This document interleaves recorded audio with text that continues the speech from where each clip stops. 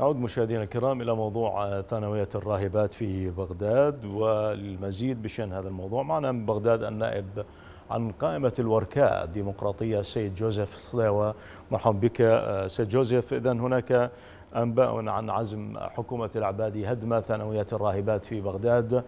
كيف ترى هذا القرار مع تكرار الحكومة الاعتداء على أملاك المسيحيين في المدة الأخيرة؟ تحية طيبة لكم سيد الكريم.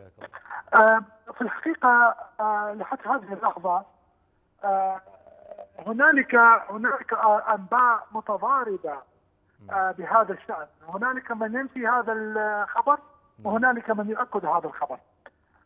وبسبب ضيق الوقت لم نتمكن من التأكد من ما مدى صحة هذا الموضوع. ولكن إذا كان هذا الأمر حقيقي أو أو فعلا هنالك نية حقيقية لتهديم هذه المدرسة التي هي عراقية بامتياز.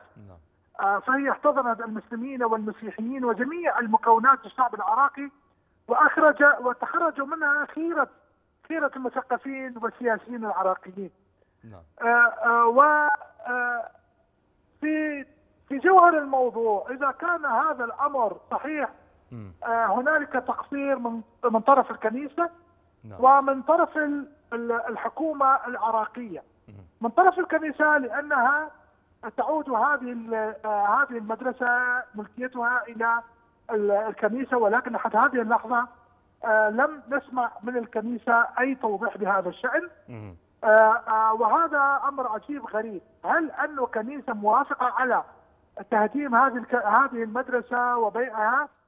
ام أم يتم ذلك تحت وطأة التهديد وإجبار القياده الروحية المسيحية للتخلي عن هذه العقارات. فإذا كان الأول الاحتمال الأول فهذا بادره خطيرة جدا وإلا كيف يجوز للمؤسسة الدينية أن تتنازل عن عقار هو صرح عراقي بامتياز يفتخر به المسلمين قبل المسيحيين. هل أن الكنيسة بحاجة إلى النقود؟ الجواب لا.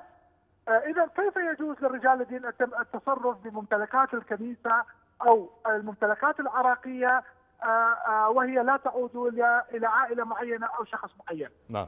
يعني ذكرت سيد جوزيف أن هذه الثانوية قد أصبحت معلما تاريخيا بغداديا. ولكن على الرغم من تضارب الأنباء كما أكدتم ومن نفي أمانة بغداد علمها قرار هدم المدرسة. وهناك بعض المصادر تؤكد أن ذلك سيتحقق. هل ستتخذون بصفتكم يعني نوابا خطوات خطوات استباقية لوقف هذا القرار إذا تقرر تنفيذه؟